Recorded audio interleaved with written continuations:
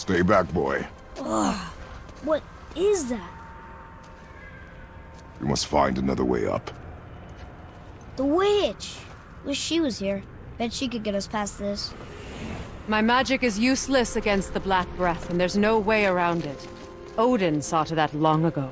What are you doing here? Making sure you can finish your journey.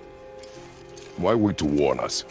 I was busy, saving my friend, if you remember. The Black Breath is a corruption of magic even I can't dispel. Only the pure light of Alfheim is strong enough to break through. But that road is long. What does this goal mean to you? It's everything.